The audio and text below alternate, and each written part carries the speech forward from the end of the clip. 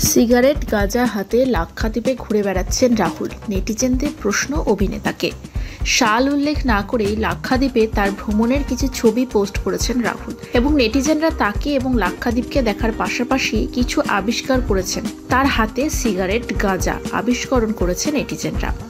লাক্ষাদ্বীপ, মালদ্বীপ নিয়ে তর্ক বিতর্ক চলছে। প্রধানমন্ত্রী নরেন্দ্র মোদী বলেছেন, ঘরের পর্যটনের পাশে দাঁড়াতে। মালদ্বীপের নাম না করে অনেকটা মালদ্বীপের মতো দেখতে লাক্ষাদ্বীপের পর্যটনকে প্রচার করেছেন মোদী। তা ভালো লাগেনি মালদ্বীপের রাষ্ট্রপতির তিনি বলেছেন, মালদ্বীপের মতো কোনো মতেই নয় লাক্ষাদ্বীপ। এসবের মাঝে তারকারা পোস্ট করেছেন লাক্ষাদ্বীপের ছবি। বাংলার তারকাও ছবি পোস্ট করেছেন। তালিকায় রয়েছেন রাহুল বন্দ্যোপাধ্যায়, সন্দীপ্তা সেনরা। সাল উল্লেখ না করে লাক্ষাদ্বীপ তার ভ্রমণের কিছু ছবি পোস্ট করেছেন রাহুল এবং নেটিজেনরা তাকে এবং লাক্ষাদ্বীপকে দেখার পাশাপাশি কিছু জিনিস আবিষ্কারও করে ফেলেছেন তার ছবি দেখে।